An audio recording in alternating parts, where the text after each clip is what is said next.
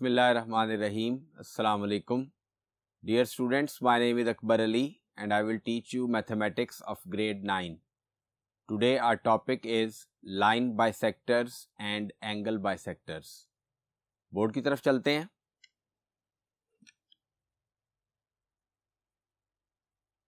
Ji students right bisector of a line segment की definition समझते हैं। A line is called a right bisector of a line segment if it is perpendicular to the line segment and passes through its midpoint. Students एक line segment draw करते हैं A B एक line segment है line L M line segment A B पे perpendicular होगी और line L M line segment A, B को point C पे इंटरसेक्ट कर रही है। अब लाइन एल, एम परपेंडिकुलर है लाइन सेगमेंट ए, बी पे और लाइन एल, एम ने लाइन सेगमेंट ए, बी को दो इक्वल पार्ट्स में डिवाइड कर दिया। जब line L, M line segment A, B को दो इक्वल पार्ट्स में डिवाइड करेगी तो इट मीन्स कि line L M, line segment A, B के मिड पॉइंट से पास कर रही है। बाइसेक्टर ऑफ़ एन एंगल की डेफिनेशन समझते हैं। A ray is called a bisector of angle if it divides the angle into two equal parts.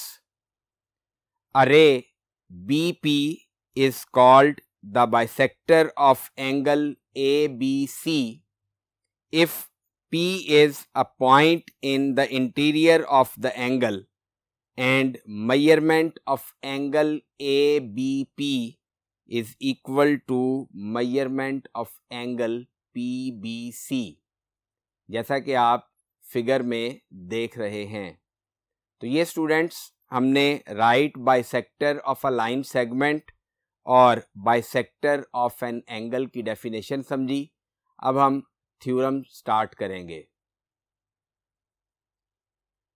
Ji students, theorem one है any point on the right bisector of a line segment is equidistant from its end points अब students पहले figure समझ लेते हैं। एक line segment draw करेंगे A B इस line segment का राइट बाइसेक्टर ड्रॉ करेंगे एल एम राइट बाइसेक्टर हमने ड्रॉ किया लाइन सेगमेंट ए बी का, जो कि लाइन सेगमेंट ए बी को पॉइंट सी पे इंटरसेक्ट कर रहा है। अब ए सी और बी सी की मेज़रमेंट सेम होगी, क्योंकि डेफिनेशन में हम पढ़ चुके हैं कि राइट बाइसेक्टर लाइन सेगमेंट को टू इक्वल पार्ट्स में डिवाइड करता है। तो सी इसका मिड पॉइंट होगा। और राइट बाइसेक्टर परपेंडिकुलर होता है तो लिहाजा एंगल सी 90 डिग्री के इक्वल होगा। अब इस राइट बाइसेक्टर पे कोई एक पॉइंट लेंगे पी अब हमने ये प्रूफ करना है कि ये point P line segment A B के एंड पॉइंट्स से बराबर फासले पे है।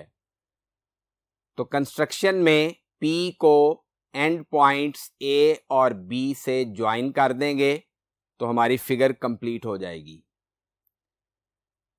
अब गिवन में लिखेंगे a line L M intersects the line segment A B at the point C such that L M line is perpendicular to A B line segment and line segment AC is congruent to line segment BC. P is a point on line LM. Proof हमने करना है P A is congruent to P B construction में लिखेंगे join P to the points A and B अब proof करते हैं जब हमने स्टूडेंट्स कंस्ट्रक्शन की पॉइंट पी को ए और बी से ज्वाइन किया तो हमारे पास दो ट्रायंगल्स आ गई। ट्रायंगल पी ए सी और ट्रायंगल पी बी सी इन दोनों की कॉरिस्पॉन्डेंस लेंगे। In triangle A C P correspondence to triangle B C P A C is congruent to B C. और इसकी रीजन में लिखेंगे गिवन क्योंकि ये स्टेटमेंट में गिवन है।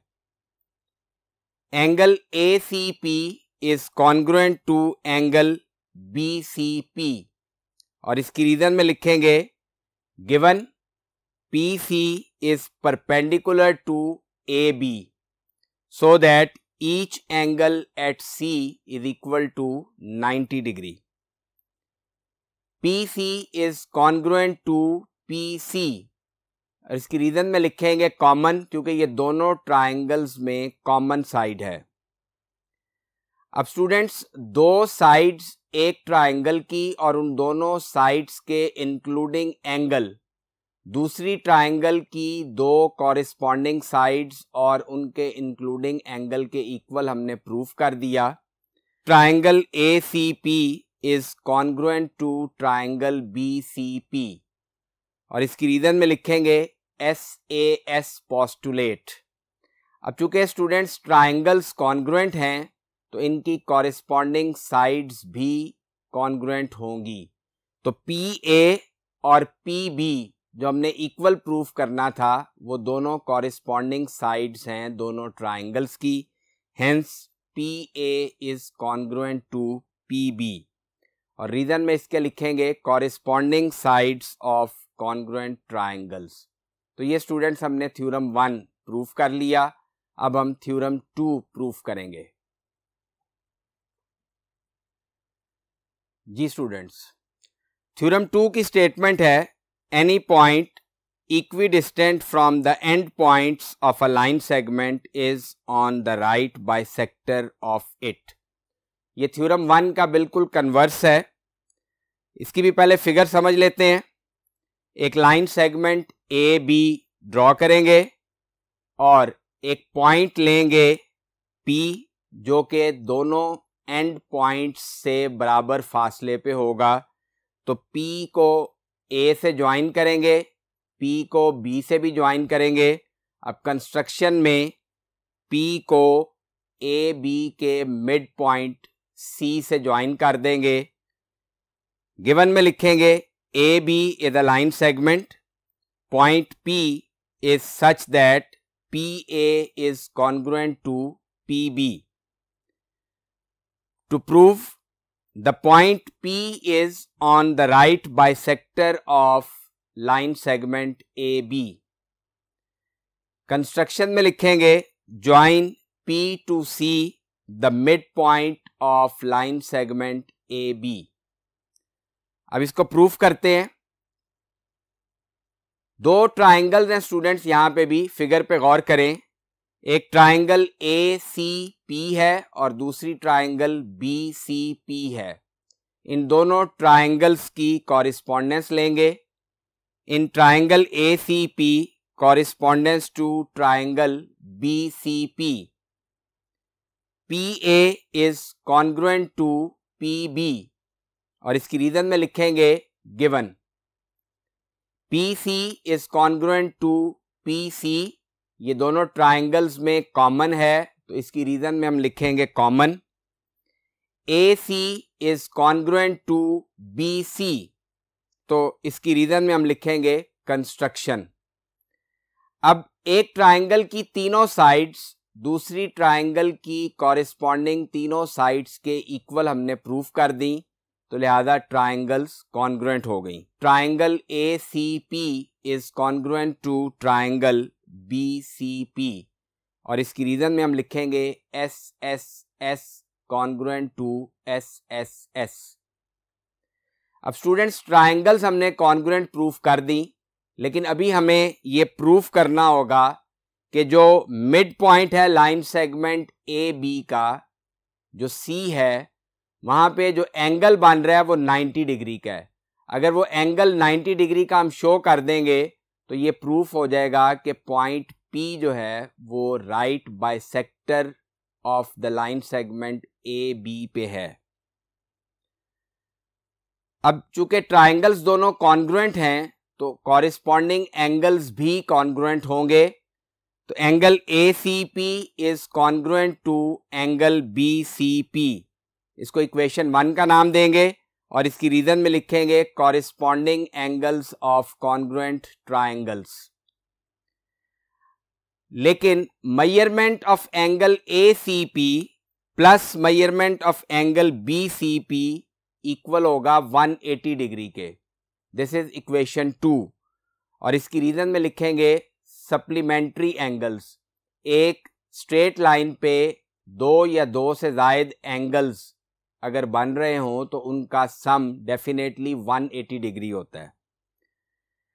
अब स्टूडेंट्स, हमने इक्वेशन वन में कहा कि ए सी पी एंगल और बी सी पी एंगल दोनों इक्वल हैं और इक्वेशन टू में हमने कहा कि दोनों का सम 180 डिग्री के इक्वल है। तो ये सिर्फ़ और सिर्फ़ एक ही सूरत में मुमकिन है जब दोनों एंगल्स 90 डिग्री के इक्वल होंगे। measurement of angle ACP is equal to measurement of angle BCP is equal to 90 degree और इसकी रीजन में लिखेंगे from equation one and two अब चूँकि एंगल ए सी पी और angle B C P ninety degree के equal हमने show कर दिया तो इससे ये साबित हुआ कि पी सी परपेंडिकुलर है लाइन सेगमेंट ए बी पे। इसको अब इक्वेशन थ्री का नाम देंगे और इसकी रीजन में लिखेंगे measurement of angle A C P is equal to ninety degree proved ये हम ऑलरेडी प्रूव कर चुके हैं। अब हमें यह भी मालूम है कि सी पॉइंट जो लाइन सेगमेंट ए बी को दो इक्वल पार्ट्स में डिवाइड कर रहा है तो लिहाजा C A is congruent to C B इसको इक्वेशन फोर का नाम देंगे और इसकी रीजन में लिखेंगे construction P C is a right bisector of A B और इसकी रीजन में लिखेंगे फ्रॉम थ्री एंड फोर क्योंकि इक्वेशन थ्री में हमने ये प्रूव किया कि पी सी परपेंडिकुलर है ए बी पे और इक्वेशन फोर में हमने लिखा है कि सी ए कॉन्ग्रुएंट है सी बी के. तो लिहाजा P C is a right bisector of line segment A B that is the point P is on the right bisector of line segment A B तो यहाँ पर स्टूडेंट्स हमने यही प्रूफ करना था। अब हम थ्यूरम थ्री प्रूफ करेंगे। जी स्टूडेंट्स थ्योरम थ्री की स्टेटमेंट है the right bisectors of the sides of a triangle are congruent concurrent means एक ट्राइंगल के तीन राइट बाइसेक्टर्स होंगे, तीनों राइट बाइसेक्टर्स एक पॉइंट पे मीट करते हैं। तो ये हमने प्रूफ करना है। अब इसमें फिगर पहले समझ लेते हैं। ट्राइंगल ड्रॉ करेंगे ए बी सी अब इस ट्राइंगल में लाइन सेगमेंट बी सी का राइट बाय सेक्टर ड्रॉ करेंगे और लाइन सेगमेंट ए बी का राइट बाय सेक्टर ड्रॉ करेंगे। दोनों right bisectors point O पे मीट करते हैं। पॉइंट ओ को ए बी और सी से ज्वाइन कर देंगे। जो हमने राइट बाय सेक्टर ड्रॉ किए, वो राइट बाय सेक्टर 90 डिग्री का एंगल बनाएँगे। जहाँ पे भी राइट बाय सेक्टर मीट कर रहे हैं लाइन सेगमेंट ए बी और लाइन सेगमेंट बी सी को। अब गिवन में ट्राइंगल ए बी सी लिखेंगे।